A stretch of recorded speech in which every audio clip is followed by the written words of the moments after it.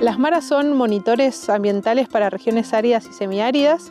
Es una red que en principio estaba en toda la Patagonia, en las distintas provincias, y de a poquito se está ampliando.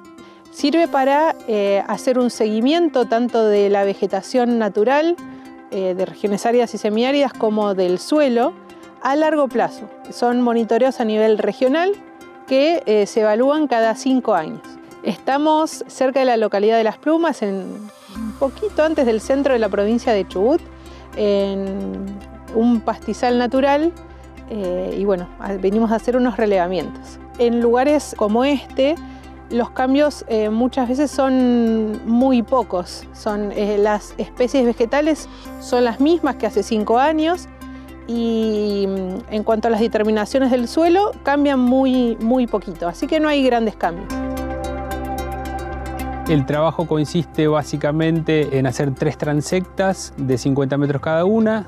en dos transectas se mide vegetación, en la tercera transecta se mide condiciones de parches e interparches y se toman muestras de suelo, se saca textura de suelo y se ve el nivel de erosión hídrica y eólica que puede haber en el suelo para este monitor.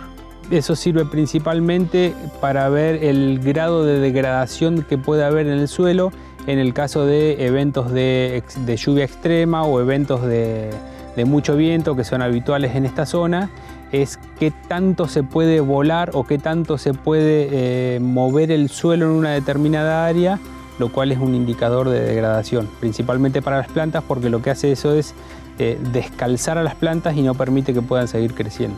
En Patagonia Sur hay alrededor de 300 maras más o menos, 120 más o menos están en Chubut eh, y el resto están todos distribuidos entre eh, Santa Cruz, Tierra del Fuego y parte del sur de Chile también. Es mi primera experiencia eh, haciendo las mediciones en estos monitores. Yo trabajo también en el grupo de pastizales naturales a través de una beca cofinanciada, una beca postdoctoral cofinanciada entre la Secretaría de Ciencia y Técnica de la provincia del Chubut y CONICET.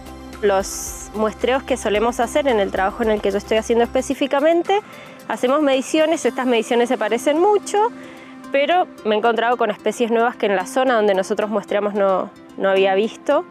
Y bueno, siempre es enriquecedor una experiencia nueva en el, en el Monte Austral.